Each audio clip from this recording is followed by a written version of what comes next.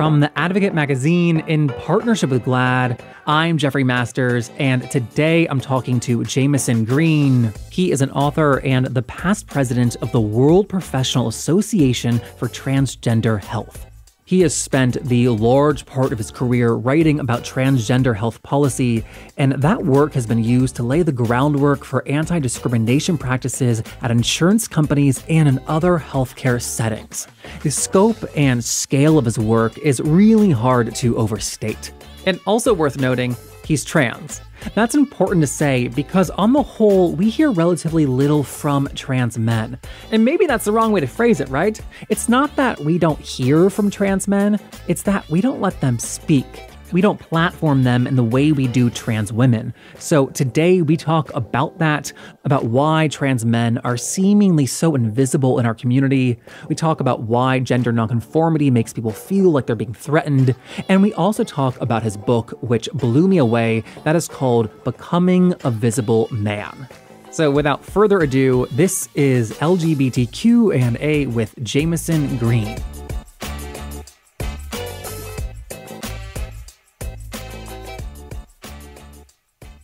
So I'm really interested in and I want to talk about the community of trans men that you were part of in the 80s. This was in San Francisco. But before we talk about that, what was your first exposure to transness and specifically to trans men? I saw Steve Dain on television. Steve Dain was the most famous trans man in the world until Renee Richards transitioned, which happened the day after his story made it to the front page of the New York Times. So his story makes it to the front page. Then Renee Richards comes out, and you never hear about Steve Dain again because people don't care about trans men, especially in New York when Renee Richards is well known socialite, ophthalmologist, tennis player, you know, very exciting person for New Yorkers. And Steve Dain is a high school gym teacher in Emeryville, California. But Steve Dain was an extremely impressive individual, and he transitioned in 1976. When I saw him on television, it was like, that's the person I need to talk to. That's the person who will know how to explain this to me. I called myself cross gendered. I felt as though there were wires crossed between my brain and my body. I didn't have any language and I hadn't known anybody else who felt the way I did. I, I think that we think about famous trans people through history and you hear the name Christine Jorgensen and then you think there was not a single trans person until like Laverne Cox again. Right. I mean obviously that's not true. We know that. But it seems like the reality is that there is and has always been trans people in the media, but we have just like forgotten them really quickly. That's right. Yes. And particularly trans men. I mean, back in the 70s, also, there were two other very active trans men active in trying to do education using the media as much as they had access to it. They were Jude Patton and Jason Cromwell. But are they remembered? No. Jude Patton is 81 years old. Jason Cromwell is younger than I am, I think.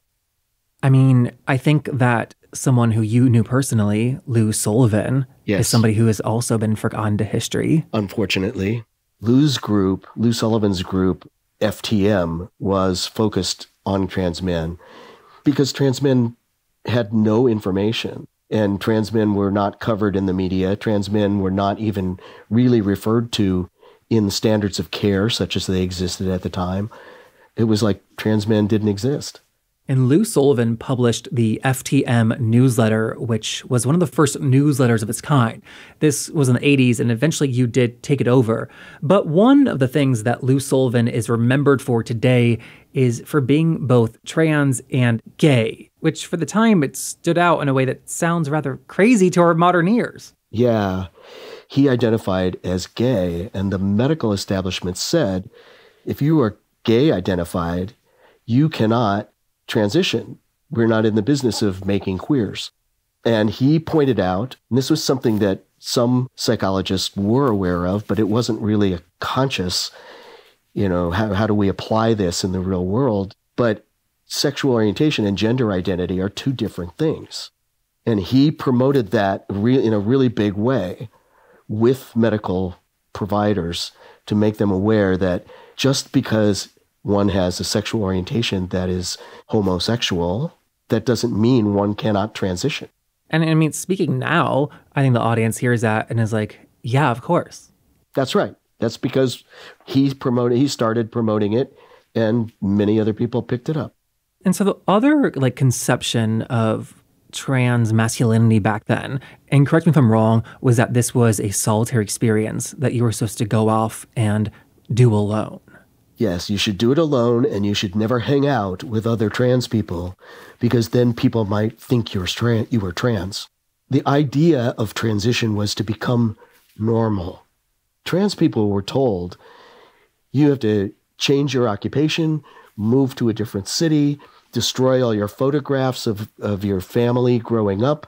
You didn't have that childhood that you actually experienced, you have to make up a story about your childhood so that people will accept you as a full human being once you transition so you can be normal.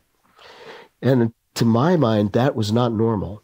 And and so I think that is like a big question that I had reading your book was like when did you break out of that way of thinking since you kind of like never bought into that? I don't know, but I think part of it may be because I spent most of my life prior to my transition being visibly non binary. People did not know what sex I was, people could not tell. And so I didn't think there was anything wrong with me. I was just different. And so I wasn't about to be told that I didn't belong, that I couldn't have a job, that I couldn't be something in the world. I wasn't going to accept that just because people couldn't tell what sex I was. You also wrote that like like as you matured physically growing up, like the difference between your body and your gender created problems for you and nearly everyone around you. I think that we think of gender as such like an individual experience that we don't think about it creating problems for other people. It's a social communication, gender. It's a language. It's a language that we use to tell something about ourselves and to perceive other people without knowing certain things about them. We use gender as how we perceive people as well as how people communicate. It's a two-way street. And so what is it about gender nonconformity, any sort of gender transgression that makes somebody feel like they're being threatened? They feel that they can't understand what's going on. They don't have control of the situation because they don't have the information they need. They don't know how to treat you and so they assume and they and if they've been if they have an association with any kind of variance like that with perversion or criminal behavior or and this was and this was common for years for hundreds of years anybody who didn't quite fit a gender norm there's comes a point where you cross a line and you don't fit a gender norm. You can't be categorized. You become a threat because you upset the order of the world. It seems like that's the level of threat that's experienced by people. Gender is a power symbol too, particularly if you know whether someone's a man or a woman, you know how on guard you need to be if you're going to have to get into a fight or not, whether or not you can approach them if you happen to be attracted to them, depending on the cultural constructs within your society and which always are in flux also. But people don't aren't aware of how in flux it is because we all have our assumptions about how the world relates to us and we relate to the world. And if we can't let go of some of that control, then that's when we start to run into social problems. That's interesting. Okay, so just to use a simple example, I might walk into a building and hold a door open for a woman, but not a man. And so if I don't have experience with gender nonconformity, I don't know how to treat this person. And I'm there at the door and my brain just kind of like short circuits. Yeah. That's interesting. Yeah. And some people find when they, they've experienced that short circuiting, it throws them completely off and they can get very angry in response. They think they're being assaulted. I think there's a neurological function going on here for a lot of people with respect to how they interpret gender. And some people's neurological pathways actually have more difficulty than others. I think there's a lot of things going on that we simply don't know about yet in science, frankly. We, we've talked a couple times, or at certain points, we've gone back to like the like seeming invisibility of trans men in culture. Mm-hmm. I know there's not just one reason for that, but can you talk about what some of those reasons are or might be? Fundamentally, I think to some extent it relies on misogyny. It's very, very interesting if someone wants to cut off their penis. Why would they do that? Oh my God. That's what often people think about a trans woman. But what do people think about girls? Well, of course, women always want to be men because men are superior. So uh, that's just typical. Why not? And they're not a threat because they're just a woman. Whereas a guy transitioning away from the cohort of men where he has to hold up the specter of masculinity, he's failed.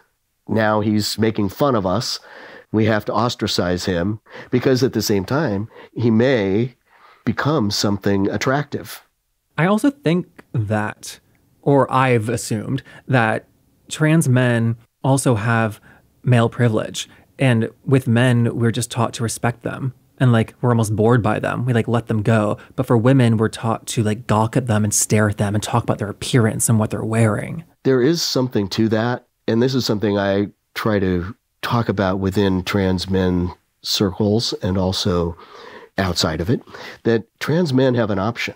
Trans men have not been enculturated exactly the same way and have a responsibility, in my opinion, to be conscious of that false masculinity, that false, you know, objectification of women, that you should know better.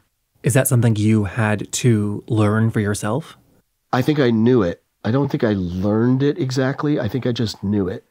I always knew I wasn't really a woman, even though I tried to do things sometimes that would that would be supportive of women. I was very supportive of women in the sense that I agree with the tenets of feminism, but I never really fit. Even when I was living as a lesbian, there were lots of times when my lesbian friends said, You don't want to come to this women only event because you'll be bored. Isn't it amazing like what other people in our lives can like see in us before we can see it? Yeah, absolutely. I think it's important that we do talk about trans men specifically because when we don't, we don't talk about the issues that affect trans men. We talk so much about the violence against trans women necessarily. It's a huge issue. However, we don't talk about like the rates of like self-harm and suicide that do affect the trans male community. And also domestic violence is something that really affects trans men. It hasn't been studied that much, but that's something that you get into trans men's circles, you'll hear about. And often the violence is perpetrated by women, by female partners. I did not know that. Gay identified trans men also can end up in a partnership with a gay man and end up in a violent situation. I mean, that just points to like these larger issues of domestic violence. I mean, the rate for women, I think it's like one out of four, one out of five. It's massive. Mm-hmm. Also, like the majority of violence against trans women specifically, it's intimate partner violence. That's right. These speak to larger cultural issues, not just anything to do with transness. But people will use transness as an excuse for violence. In terms of the trans masculine community specifically, in your book in 2004, it's been almost 20 years, but you wrote that though we've made great progress, I still don't believe we have a real community yet. But I believe we should keep invoking it, keep trying to build it, because we're on our way to achieving it. So it's been 20 years. Do you still feel that way? That we're like almost there, but not there yet? Yes, I still do. And my book has been reissued in 2020 in a revised edition because it was one of Vanderbilt's best selling books ever on their entire list. Whoa. And 2020 was their 80th anniversary year. And so they gave me an opportunity to update the text. And in the foreword, I wrote at least two generations of transgender, non binary identified, and other gender non-conforming people have emerged since this book was first published. I see the YouTube videos, the Facebook groups, the conversations on Reddit and many other forums, the growth of community based organizations, and the new scholarship flourishing in all the regions of the globe. And I love the energy and the commitment so many people are bringing to their self explorations and efforts to improve the quality of life that trans people and their families experience. At the same time, I see that far too many people are asking the same questions that my own cohort of trans people asked 30, 40, 50 years ago, and far too many people still believe that there is no information to be found about transgender lives. I know how tempting it is, in the US especially, to want to discard the past and forge new ground, but I'm also heartened by the recent attention to our collective history from today's students and transgender identified people who have been surprised and gratified to realize that they have not been alone all this time. We have ancestors and pioneers, and there is a context for our lives.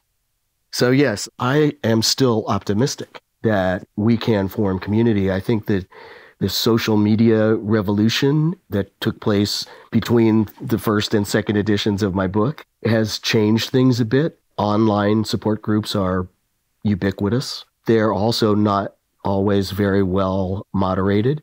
So it's a hard, it's a, we're in a difficult time.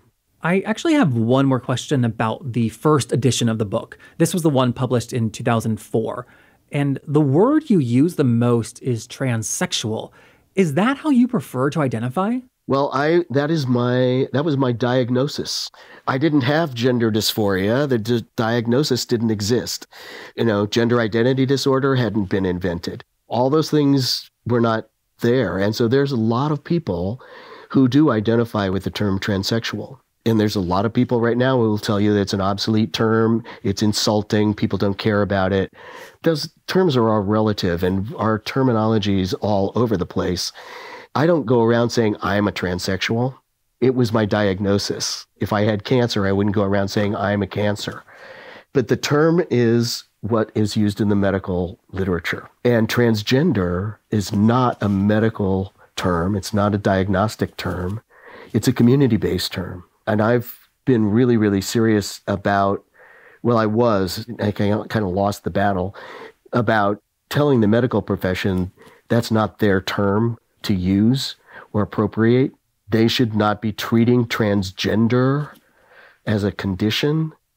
I think transgender health, that's what they should be focusing on is transgender health. You don't treat the condition of transgender, you advocate for transgender health because it's a transgender community. That's interesting. I've never heard anyone make that argument before. You're saying that for the trans community, appropriate healthcare, there are issues to be treated. However, the issue of being trans is not an issue and not something to be treated. Right. It's something for a trans person to manage in their own way. It's something to be aware of because it's going to affect your social relationships. Similar to all like sexualities. Yeah. Like it, affects so much about your life, but it's not a condition. Right. You you've made transgender health policy a cornerstone of your work. Yes. When did that begin? Yes. When did you realize like, oh, that this is the focus? Well, the first thing was when I started my transition, I had just started a new job, and so I got the new the insurance documents, and I saw something that I had never noticed before in any insurance plan consciously, but that there was an exclusion for transsexual treatment. That was the language. All transsexual treatment would be excluded. And I thought, well, that's a bummer.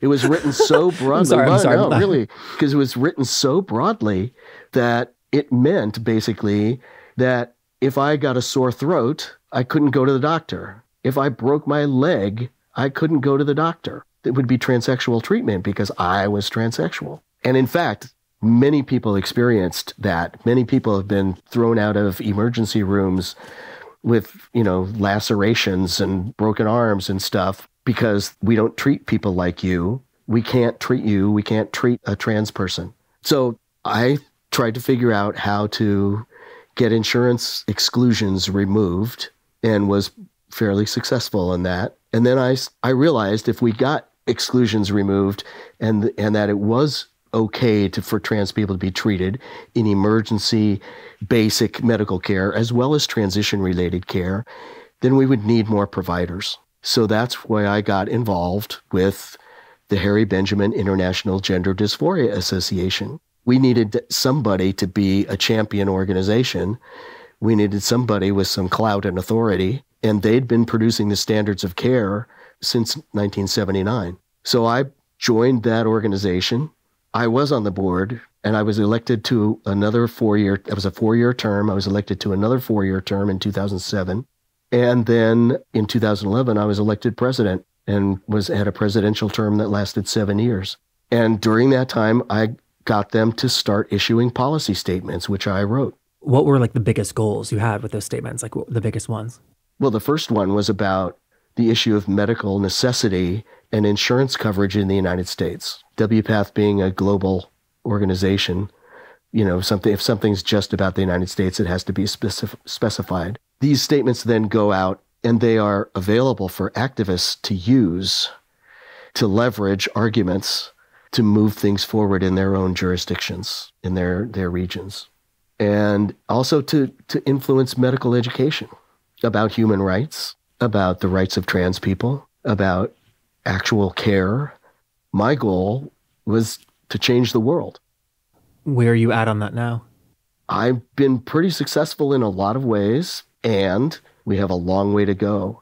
Something that I have been advocating about for a long, long time is to be ready for conservative backlash and to be ready for the religious right machine that has basically orchestrated all of these laws that are coming out in these state houses.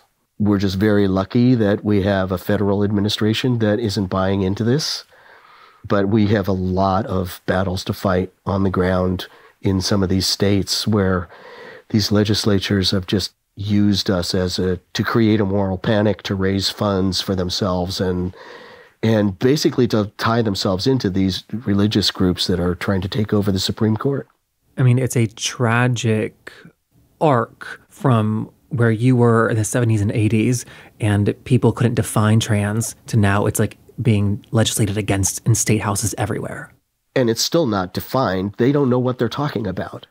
They haven't the first clue what they're talking about. They haven't the first clue what actual treatments is, just like they don't know what critical race theory is. Well, you know, I'm always looking for ways to help non trans people understand the trans experience. And you talk about in the book about bodies, how everybody can relate to being unhappy with some part of their body. And you write about like women wanting to look, I think like Barbie was the example. You said men in the gym pumping weights looking like Arnold Schwarzenegger. And you wrote, quote, Body modification is a complex phenomenon. People have done it since the beginning of time for various reasons and with various results. Changing one's sex is just one way of changing one's body. And I think that's profound and how anybody can relate to that. And I wanted to bring it up because we have done such a great job moving the public conversation about trans people away from bodies and surgeries, and for a good reason. But we've also quite possibly removed the one thing from conversation that everyone can relate to. Yeah, interesting. I don't know what to say in response to that. I really appreciate you noticing that. I guess what I'm saying is like, how do we put the body back into the public conversation? Because no, we don't need to talk about what's in your underwear, but we can talk about other aspects of the body in respectful ways, and it might even be our strongest tool. Yes, we can and we should. It's a human thing. You know, this is what happens when you start editing education and saying you can't talk about this and you can't talk about that and you can't. So it means people don't, they're cut off from their own bodies and they can't learn about their own families and they can't learn about their feelings and they can't test anything about who they are. You know, like children are always trying to test boundaries, right? Yeah. You know, we have to move off gender because I also want to talk about sexuality you came into your bisexuality in your 50s. Yeah. And I wanted to ask about it because some people report changes to their sexuality with transition, but also your sexuality is allowed to expand and evolve as you get older. Can you talk about what your experience was like? Yeah, it was. Thanks for asking about that. That it was um, interesting to me. I have read too that it's common. This was in an article many years ago that 10 years after hormones, so after 10 years of cross sex hormone experience, that people often will notice a change in their sexuality. And that's sort of what happened to me. I mean, it's it isn't that I was never attracted to males growing up. You know, looking back on it, I there were times when I was, but I was never actually interested enough to actually touch one other than in playing football or in a fight. So didn't want to really have that sexual experience. And then I got to a point where I was comfortable enough in my own body. And I think basically having the proper hormone balance for me was part of that, that I could relate to the idea of actually being physically intimate with a man. Now, I I had had some physical intimacy experience with men, but it wasn't ever very interesting or satisfying. After 10 years of testosterone, I could recognize, ah, now I get it. I don't know how to explain it, but I was willing to experiment. And men came on to me frequently. So I always had plenty of opportunity. And I had been, I had broken up with a, a woman and I was thinking, I should get a dog or maybe I should. Or date men. maybe I should date men. One or the other.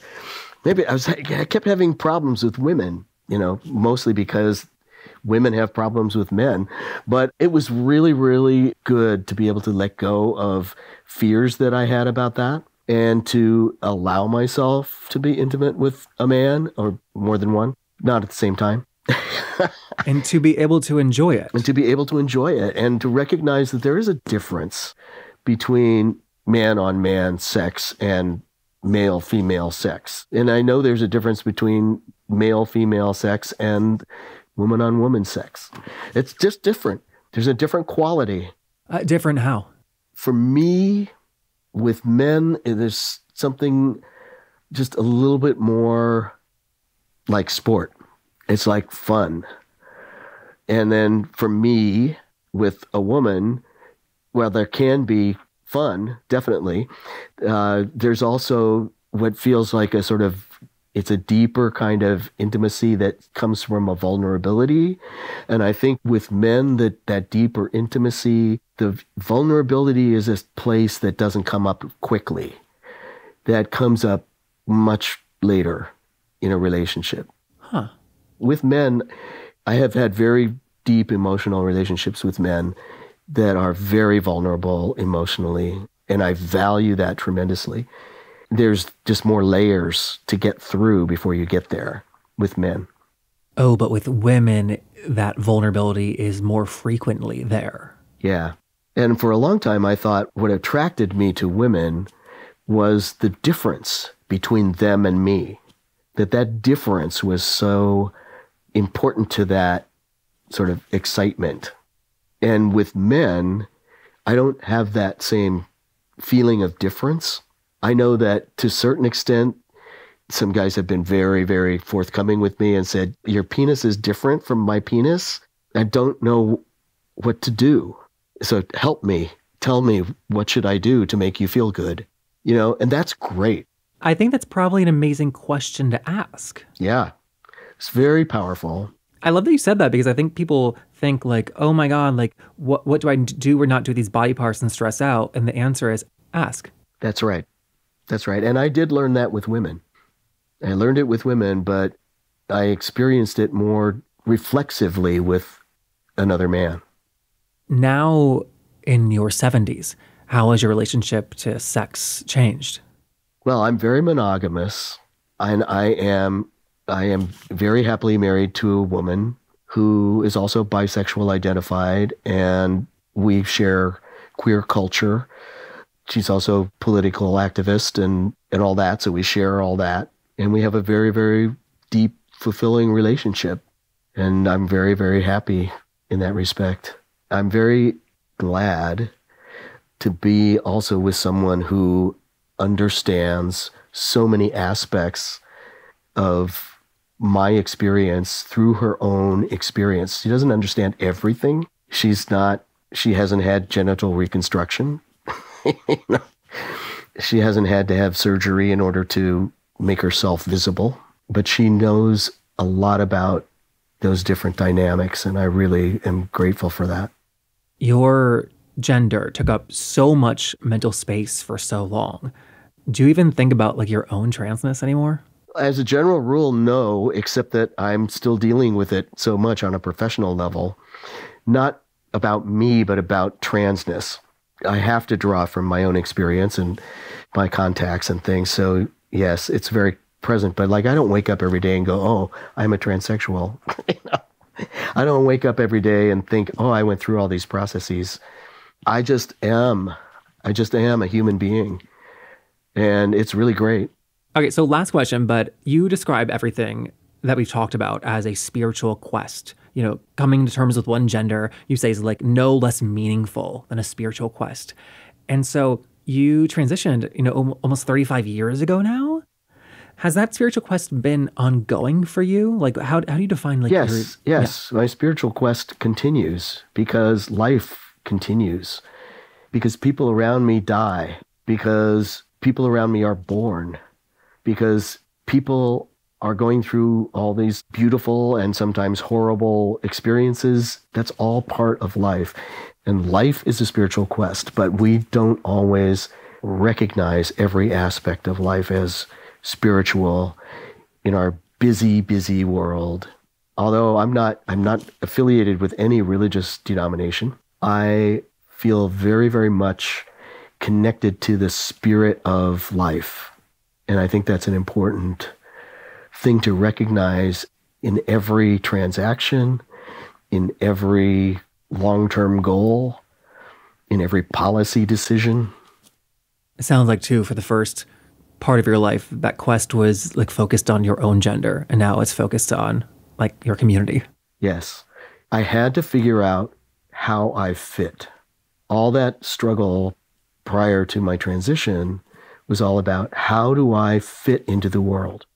Because people can't see me, because people misinterpret me, because people aren't conscious of my experience. Well, nobody's conscious of anybody else's experience. You can't demand that. But when you're young, I think a lot of times that that is what you want. You want to be seen. You want to have everybody understand everything. And you don't know the difference between something deeply internal and okay and something that isn't acknowledged. I think that's a amazing place to leave it. Thank you for this conversation. And that was Jamison Green. Once again, his book, which I highly recommend, is called Becoming a Visible Man. And then next week, we're back continuing our Elders Project with a man who's been described as the greatest diver in the mother effin' world. I mean, AZT was an experimental drug. They didn't know the toxicity, they didn't know potential side effects. We were basically guinea pigs. So that is the four-time gold medal winner Greg Louganis. We talk about his history-making career, about living with HIV, among many other things. So that comes out next week. And then until then, if you enjoyed this podcast, these interviews, please help us by spreading the word. It doesn't have to be to everyone you know. It can be just one person. Send a text, post on social media, do any of those things, and I promise it's the biggest way you can help us continue making this series. We are brought to you by the Advocate Magazine in partnership with GLAAD. I'm Jeffrey Masters. I will see you next week. Bye.